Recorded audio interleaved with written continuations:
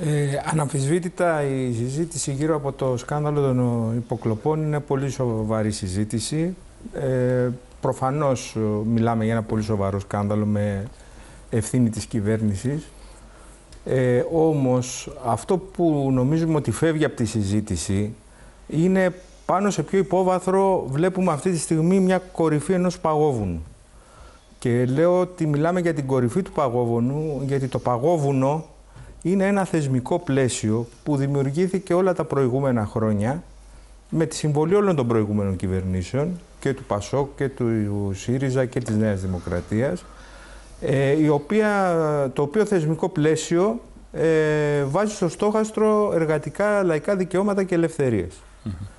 Ε, και σε αυτό το πλαίσιο ε, ενισχύονται και ισχυροποιούνται και μηχανισμοί παρακολούθησης. Δηλαδή από τη συζήτηση που έγινε στη Βουλή δεν ακούσαμε τίποτα για μια σειρά πράγματα που έχουν δρομολογηθεί όλα τα προηγούμενα χρόνια. Παραδείγματος χάρη το γεγονός ότι ψηφίστηκαν από κοινού, από όλα τα υπόλοιπα κόμματα, ε, μια σειρά ε, συμβάσεις με τρίτες χώρες οι οποίες ενισχύουν το πλαίσιο των παρακολουθήσεων κτλ. Ότι μόλις τον Αύγουστο του 2019 εγκρίθηκε με νόμο στη Βουλή η ενσωμάτωση ευρωπαϊκής οδηγίας με την ψήφο του ΠΑΣΟΚ, της Νέας Δημοκρατίας, του ΣΥΡΙΖΑ, του ΜΕΡΑ25, η οποία δίνει τη δυνατότητα σε εταιρείες και διάφορους μηχανισμούς να έχουν πρόσβαση σε προσωπικά δεδομένα, σε ατομικά δεδομένα.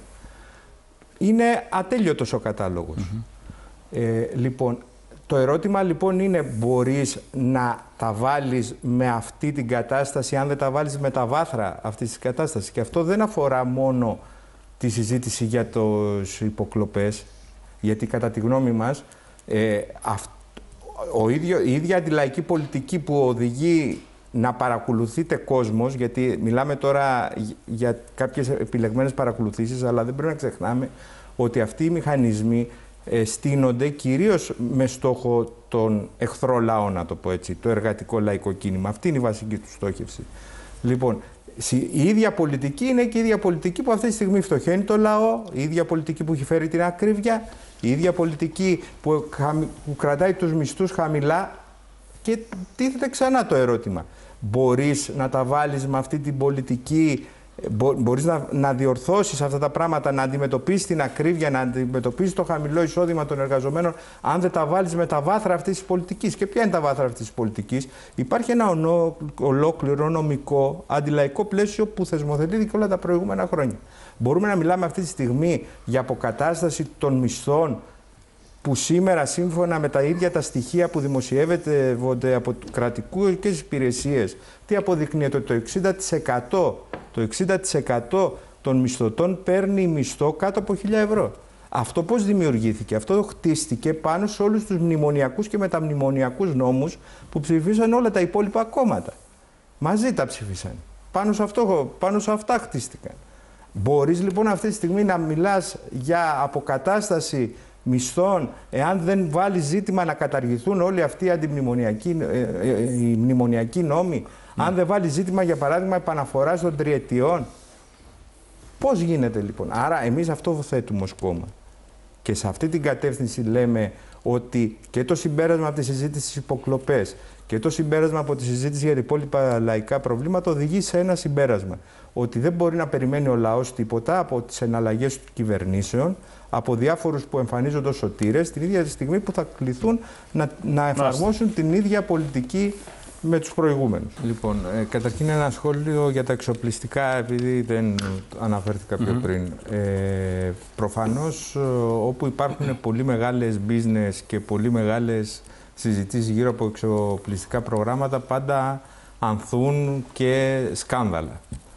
Όμως πρέπει να σημειώσουμε ότι, ότι στα εξοπλιστικά υπάρχει και το σκάνδαλο των σκανδάλων, το οποίο είναι η δέσμευση της χώρας να δίνει το 2% του ΑΕΠ στην, uh, στους εξοπλισμούς προς όφελος του ΝΑΤΟ.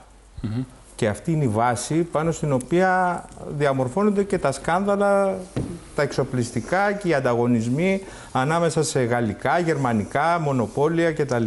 Ένα λοιπόν πρώτο σχόλιο είναι αυτό. Αυτό λοιπόν δεν πρέπει να το ξεχνάμε. Το δεύτερο που θα ήθελα να πω είναι σε σχέση με όλη αυτή τη συζήτηση γύρω από συντάξεις, μισθούς, εισοδήματα, ακρίβεια κτλ.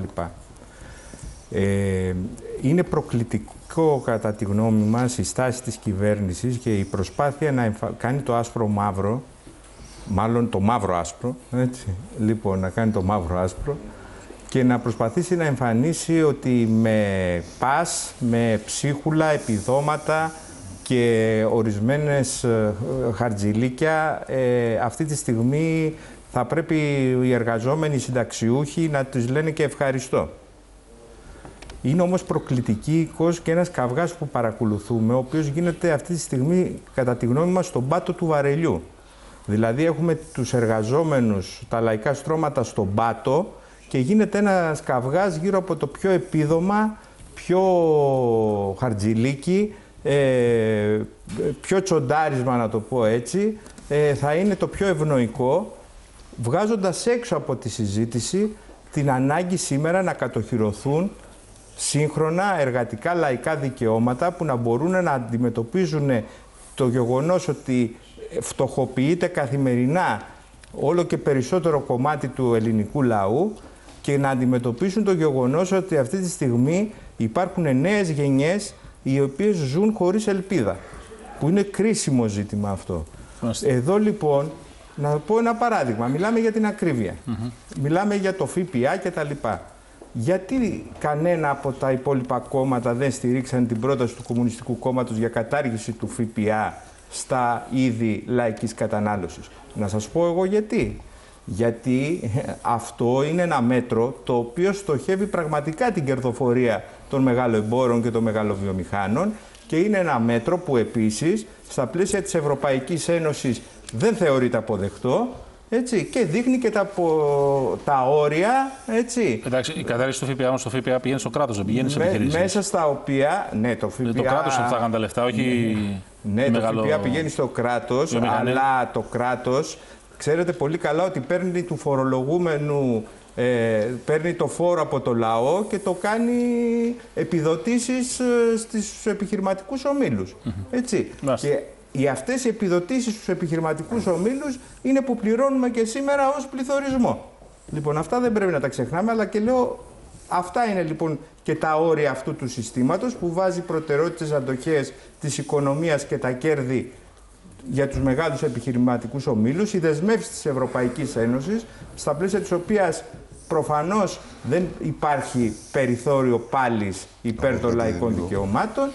Και λοιπόν, αν λοιπόν ο λαός δεν στραφεί λοιπόν, απέναντι σε αυτά, έχει ε, να βρει λύση από κανέναν όποιου του υπόσχεται ότι ξέρεις θα σου τσοντάρω ένα καλύτερο χαρτζιλίκι. Λοιπόν, καταρχήν αυτή τη στιγμή κοντεύουν το 1 εκατομμύριο οι εργαζόμενοι που δουλεύουν σε ευέλικτες μορφές εργασίας. Άρα λοιπόν δεν βλέπω, δεν βλέπω πουθενά καμία αποτελεσματικότητα των συμβάσεων που λέει ο κ. Κάθε άλλο, σωρευτικά όλα αυτά τα χρόνια έτσι έχει ξεχαρβαλωθεί, έχουν ξεχαρβαλωθεί ε, ουσιαστικά εργασιακές σχέσεις. Δεύτερον, ε, οι δεσμεύσεις που έχουν όλα τα υπόλοιπα κόμματα απέναντι στην Ευρωπαϊκή Ένωση, απέναντι σε επιχειρηματικούς ομίλους, στα σχέδια του Ταμείου Ανάκαμψης, ε, διαμορφώνουν τη βάση ώστε το πρόγραμμα της επόμενης κυβέρνησης να είναι δεδομένο. Και θα είναι αντιλαϊκό. Mm -hmm. Όποιος και αν είναι στην κυβέρνηση. Γι' αυτό το κρίσιμο, κατά τη γνώμη μας, είναι ο λαός να πάρει την υπόθεση στα χέρια Σας του. ευχαριστώ πάρα πολύ. Με δυνατό κουκουέ και στην πάλη για τα δικαιώματά του.